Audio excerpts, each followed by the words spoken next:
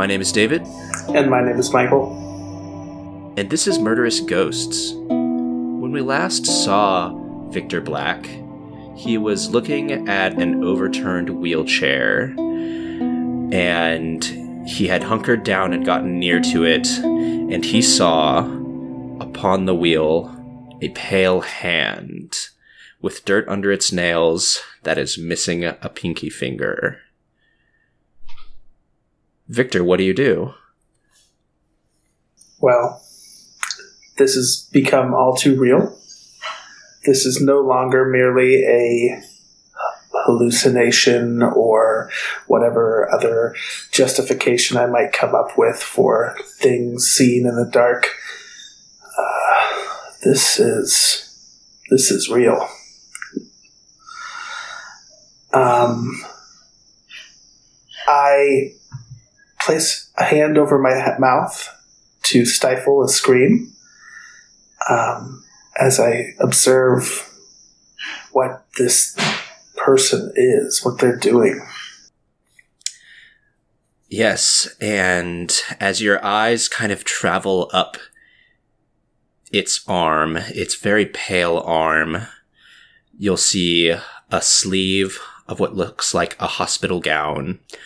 And then you look at its face and its eyes are just darting, oscillating back and forth.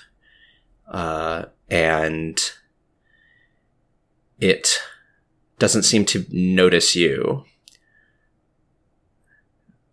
But its mouth is wide and it's full of a black, moist something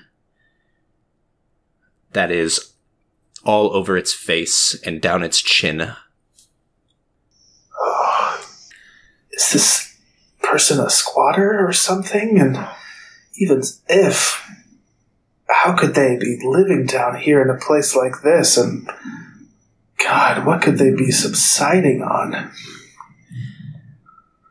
The figure starts to move its hand along the wheel as if to get it spinning and it, it, starts to sound like it's moving faster and faster. That squeaking starts to even out, but you look at the wheel and it's still not moving.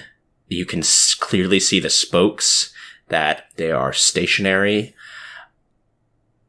And then it raises its other hand and its other hand is all broken fingers. Every single finger on it is broken in multiple places and it just jams it down into the stationary wheel that sounds like it's spinning, and you hear a sickening crunch, and the sound of it moving stops. Oh, maybe, maybe this isn't real. How could this be real? But I'm seeing it with my own eyes. What do you most hope it doesn't do? Choose. From look at me reach out to me, speak, or stop still. Well, this thing, it's it's not it's moving, it it's it seems like it might be alive or something, but at least it's not looking directly at me. Its eyes are darting around the room. I don't know if it really knows or understands that I'm here. So if at least it doesn't look at me, maybe I can sneak past it or something. Mm-hmm. I drew a 10, which means it does one of the others. I have to choose which. Oh, well, I guess if I have to choose, I'll hear it speak. It will speak. It. Its mouth is open and you can see that blackness in it kind of churning a bit. And then you hear it speaking.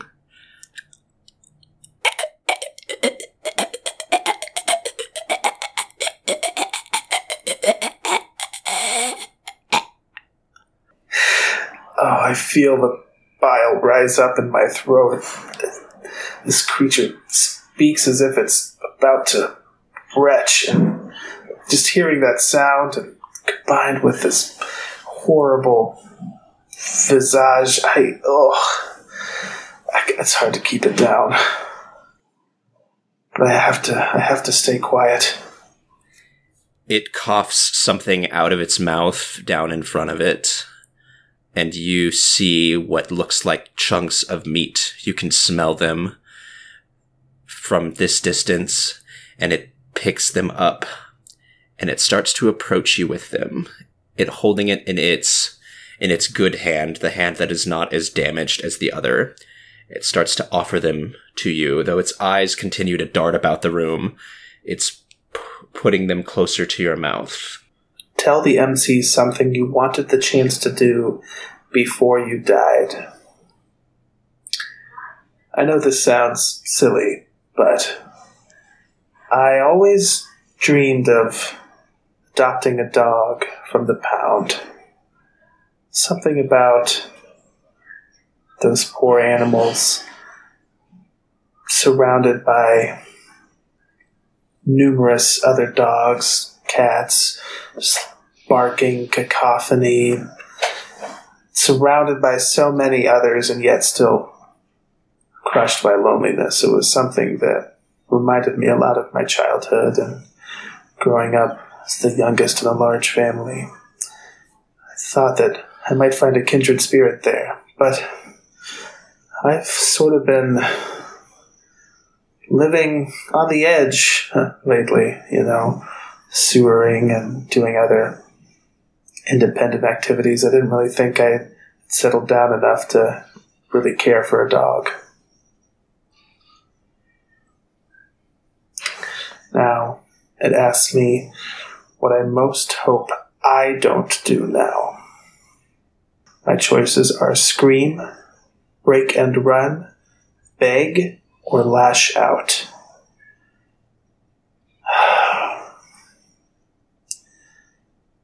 right now, I've I have my hand covering over my mouth as this thing is sticking this putrid chunks of meat towards me and holding back vomit in my mouth.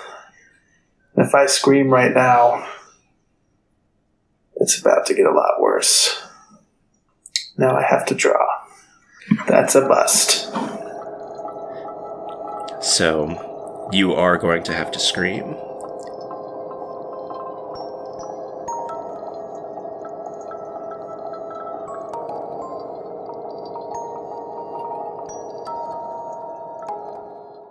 Hi, this is Jason from The Gauntlet. If you enjoyed this episode of Comic Strip AP, be sure to check out our YouTube channel. We have many other Comic Strip AP shows available, each organized in their own sequential playlist for easy listening. Just go to youtube.com and search for Gauntlet RPG.